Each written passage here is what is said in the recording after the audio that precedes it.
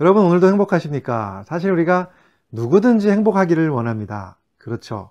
근데 행복에는 조건들이 좀 있는 것 같습니다. 물론 경제적인 것도 물론 조건이 될 수도 있고 건강도 또 행복의 조건이 될 수도 있고 여러 가지 조건들이 있는데요.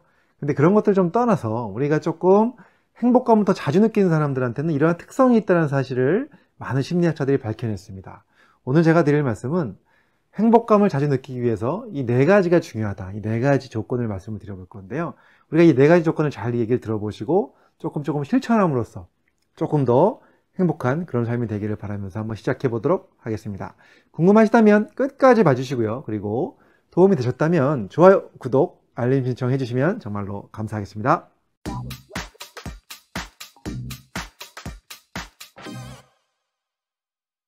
안녕하세요. 교육하는 의사, 가정의학과 전문의 이동환입니다.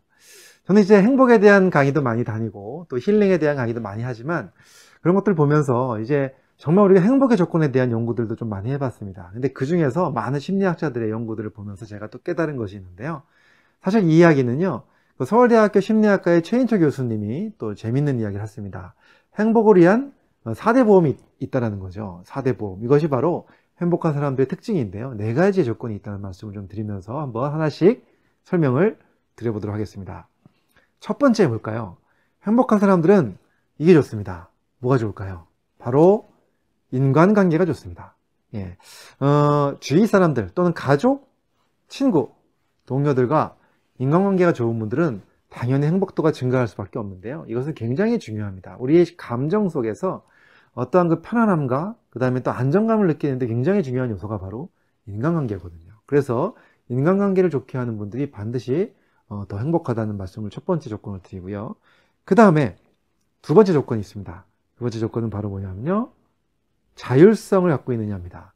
어, 굉장히 재밌죠. 우리가 어느 조직이든 간에 규율이라는 게 있습니다. 근데 그 규율을 딱 통해서 직원들을 꽉 묶어놓는 경우가 있는데 그 와중에서도 조금 융통성이라는 게 발휘되잖아요. 융통성을 통해서 도 자율성을 줍니다. 근데 이것이 균형이 잘 맞아야 되는데 너무 규율이 강해서 자율성이 없어지면 어, 많은 분들이 행복감이 떨어지게 된다는 것이죠. 그래서 사실 내가 하고 싶을 때 뭘 할 수 있는가 이것이 굉장히 중요한 것이고 이런 것들을 할 수 있는 조직 그런 것들을 할 수 있는 분위기를 가진 분들이 행복감을 느낄 수 있다는 걸 제가 두 번째 조건으로 말씀을 드리고요. 그 다음에 세 번째는 어, 일을 하면서도 우리가 자기가 하는 일, 하는 행동에 대해서 어떤 목적과 의미가 정확한 분들이 훨씬 더 행복감을 느낀다라고 알려져 있습니다. 그렇죠. 어, 일을 하면서 내가 이 일을 왜 하는 것이냐, 어, 내가 도대체 이걸 왜 하는 것이냐, 이렇게 의미 없이 일을 하는 분들은 행복감을 느낄 수가 없다는 거죠.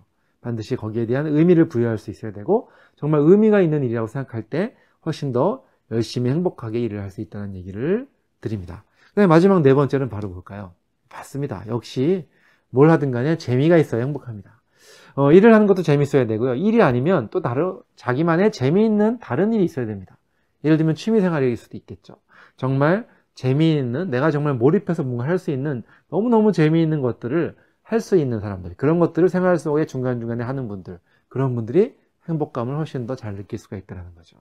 사실 어, 직장에 다니는 분들이 이게 나중에 퇴직을 하고 나서 왜 직장을 옮겼느냐, 왜 퇴직을 했느냐, 왜 사표를 썼느냐 물어보면 여러 가지 얘기들을 한다고 합니다. 근데 그 중에 첫 번째가 바로 뭘까요? 사실 뭐, 어, 월급이 작아서 일이 너무 힘들어서 이런 얘기가 아니라 첫 번째가 바로 뭐냐면 안 좋은 인간관계 때문에 퇴직하는 경우가 많다고 합니다. 특히 윗사람이 괴롭힌다라든가 안 좋은 관계가 있으면 그걸 견디기 힘들고 행복감이 떨어지기 때문에 그러죠. 그 다음에 또 하나는 일의 의미를 못 찾거나 일의 목적을 못 찾는 경우가 많다고 합니다. 또는 너무나도 자율성이 없고 너무나도 규칙이 강해서 이런 것들이 싫어서 나간다는 분들도 있죠. 결국은 뭐냐? 직장인이든 누구든 간에 그 사람의 행복과 관련된 일들이 잘 됐을 때 훨씬 더 자기를 잘 발휘해낼 수 있다는 거죠. 자, 이 영상을 보시는 많은 또 부모님들도 계실 거고, 또 많은 우리 어, 직장인들도 계실 거고, 또 많은 리더분들도 계실 텐데요. 정말 가정에서도 행복할 수 있고, 그 다음에 직장 내에서도 행복할 수 있으려면 이 네 가지 조건을 생각해 봤으면 좋겠습니다. 우리의 관계가 얼마나 좋은지, 그 다음에 또 우리가 얼마나 융통성을 부여해주고, 어, 너무너무 규칙만 계속해서 강조하는 것이 아닌지, 그 다음에 또 우리가 의미와 목적을 가지고 재미있는 일을 하고 있는 것인지, 이런 것들을 한번 잘 생각하면서 조금 더 우리 다 같이 행복한 그런 생활이 됐으면 좋겠습니다. 감사합니다.